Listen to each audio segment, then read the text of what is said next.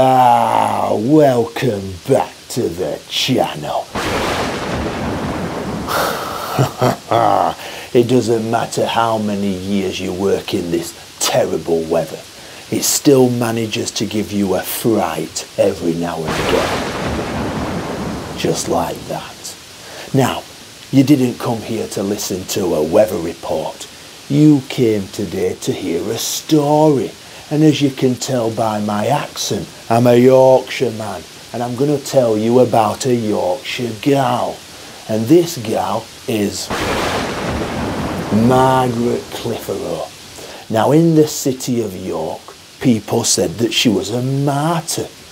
But also, other people said that she was the devil herself. Get her burnt at the stake. Now, that's not my decision. I'll leave that decision to you.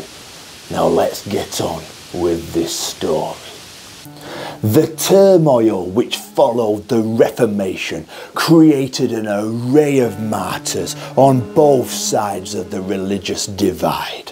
And one such martyr was our girl here. She was known as the Pearl of York, Margaret Clitherow.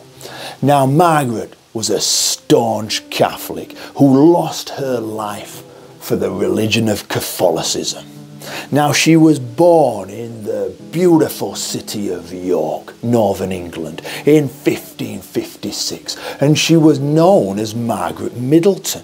Now, she was the daughter of the Sheriff of York and also the church warden of St. Martin's Church on the lovely Coney Street beautiful place. And as a child, Margaret would have observed the state religion. And if you're living in England at this time, you're a Protestant, nothing else.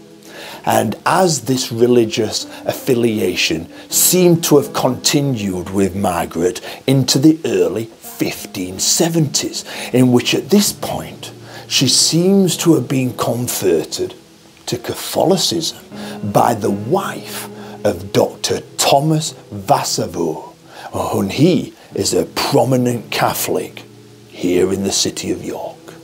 By this point, Margaret had married the wonderful John Clitherow. He was a butcher and he owned a shop on the world famous Shambles. However, keeping the people of York supplied with their fresh meat wasn't John's sole job. He also had the responsibility of reporting Catholic worshippers to the authorities. And this was all in line with the Elizabethan religious settlement.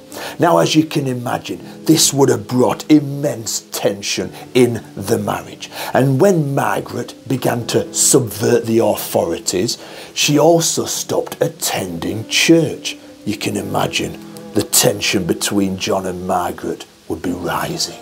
The 1557 injunctions, in which formed part of the Elizabethan settlement, had set the penalty for not attending church at 12 pence. And this was a fee that John Clitherow had to pay for his wife's misbehaviour. It was not for attending church that Margaret was first arrested in 1577. She was imprisoned twice in the city of York, and her final incarceration lasted just shy of two years. And it was whilst in prison that Margaret learnt to read Latin so that she could read and speak the Latin Mass, which is a key element of the Catholic faith. Damn lightning. Okay, Margaret found the deaths of her fellow Catholics deeply troubling, and so, upon her release, she went on a bit of a pilgrimage at night down to the gallows of Tyburn and Knavesmire, where between 1582 and 1583 five priests had been hanged. Now, though Margaret had now escaped death on multiple occasions, her ultimate downfall would come from her desire to emulate a model which was established in the class. It was not uncommon at this time for noble families to harbour priests in their private houses or stately homes. Now, they could be put in priest holes, in secret cupboards, and by claiming that these priests were either schoolmasters or music teachers for their children, they could often keep them secret from the authorities. Indeed. Ha ha ha! Oh, that lightning. Anyway, indeed, this frequently proved to be effective as the noble families had the space, the finances, and the support to conceal priests, often living in isolated, stately homes, which rarely seemed suspicious, especially to the locals. However, this model could not effectively be applied in the middle sort. Households on the bustling shambles of York? Hardly likely.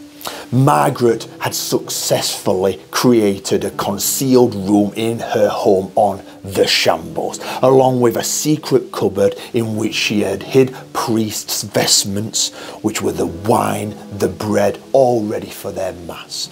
But she ultimately failed to keep it secret, resulting in a frightened young boy revealing its location to the authorities.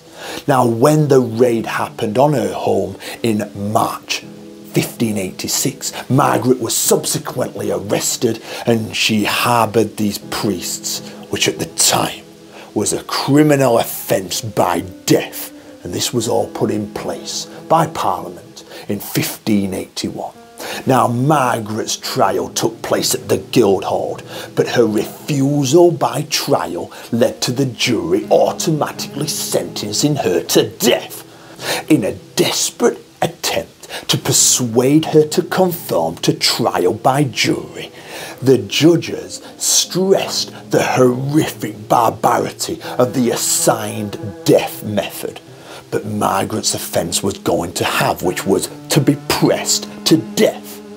Meanwhile, Margaret remained firm in her conviction and continued to refuse the trial by duty, saying, I know of no offence whereof I should confess my guilt. Having made no offence, I need no trial. Perhaps she.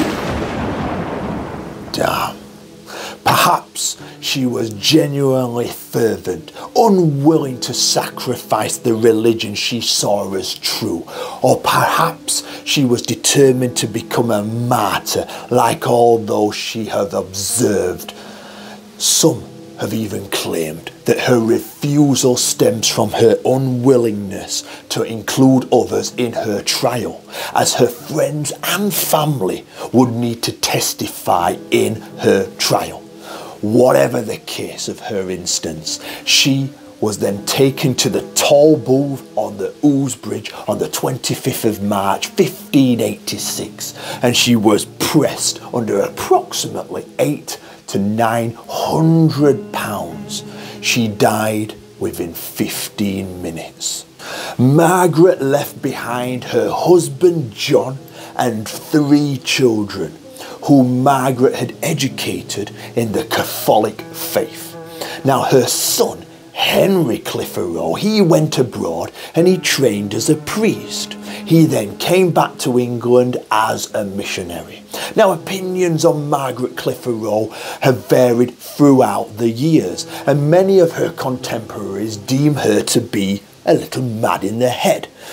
In fact, Henry May, Lord Mayor of York, and also Margaret's stepfather claimed that Margaret had committed suicide, whilst this may show that he believed Margaret to have been rather stupid in her decisions. It also shows an attempt on May's behalf to preserve his position. In condemning his stepdaughter's behaviour, May showed his personal convictions distinctly differed from Margaret's, helping to bolster rather diminish his own position. Somewhat unusual though, Elizabeth I herself seemed to condemn the killing of Margaret, writing a letter to the people of York in which stating that Margaret should have been spared this terrible fate, accounting for her gender alone. So there we are, everybody. Thank you for listening to my story on old Maggie Clitherow. So, what do you think? Do you reckon she was a martyr? Or do you think she was a little bit stupid in the head? I'll leave that decision to you. Put it in the comments and I'll read it later. See you later, everybody.